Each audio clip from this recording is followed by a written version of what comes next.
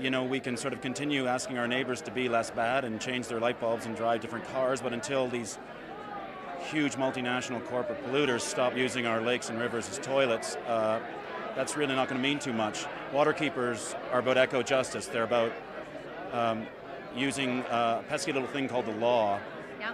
to um, to uh, protect our lakes, rivers, streams for swimming, fishing, and drinking, which are Which is that's what they're our, they're not privileges; those are our rights. We we own them. They're in the public trust.